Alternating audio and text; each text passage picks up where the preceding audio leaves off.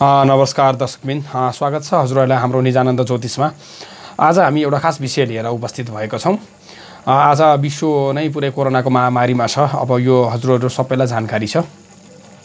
यो कोरोनाको महामारी सँगसँगै यो कोरोनाबाट कसरी बच्ने भन्ने क्रममा प्रयोग गरिने हाम्रो जुन यो दैनिक प्रयोग गरिने सेनिटाइजर छ जुन हातमा लगाउँछौँ आज यसको फाइदाहरू धेरै छन् तर यसबाट पनि हामीलाई हुनसक्ने केही घाटाहरूको विषयमा पनि केही जानकारी लिउँ भनेर आज यो कार्यक्रममा उपस्थित छु म।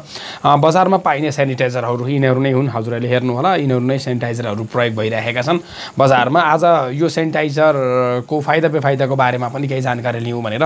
हजुरहरू समक्ष प्रत्यक्ष केही समा सबुत प्रमाणका सहित केही कुराहरू देखाउन गइरहेको छु। हेर्नु होला हजुरहरूले यो सेनिटाइजर म यहाँ सल्काउन गइरहेको छु।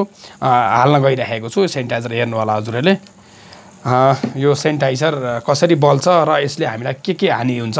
हजुरहरूले हेर्नु होला सेनिटाइजर हालेको छु यो लाइटर सल्काइरहेको छु।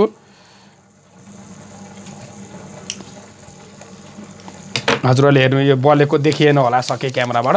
हजुरहरूलाई मैले यो बालेर देखाइदिन्छु हेर्नुहोस् यो पनि बलिसकेको छ। यसरी चाहिँ हाम्रो सेनिटाइजर ले चाहिँ हाम्रो दैनिकीमा जुन हामीले हातमा प्रयोग गर्छौँ यो चाहिँ हामीलाई पूर्ण रूपले हानिकारक छ। यसले चाहिँ हामीलाई ग्यासहरूमा कार्य काम गर्ने महिलाहरू र यो बच्चाहरूको हातमा लगाउँदा आगोहरू सेकाइदिने आगोहरूमा लगाइदिने जाडोको मौसम हुनसक्छ।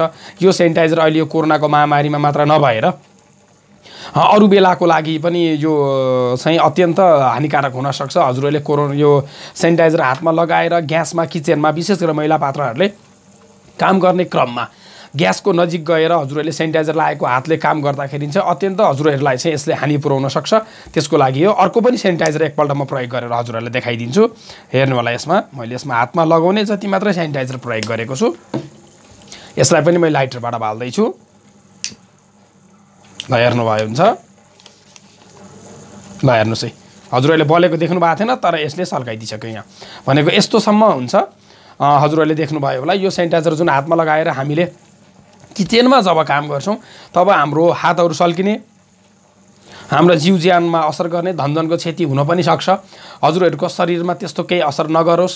हजुरहरू सेनिटाइजर प्रयोग गरेर कोना कोरोनाबाट मुक्त हुन सक्नुहुन्छ।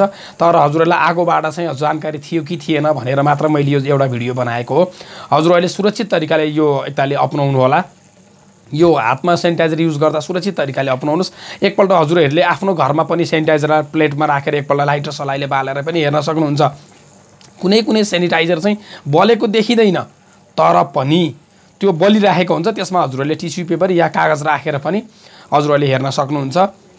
एकपटक यसलाई प्रयोग गर्नुहोस् र एकदमै सुरक्षित तरिकाले सेनिटाइजरको प्रयोग गर्नुहोला।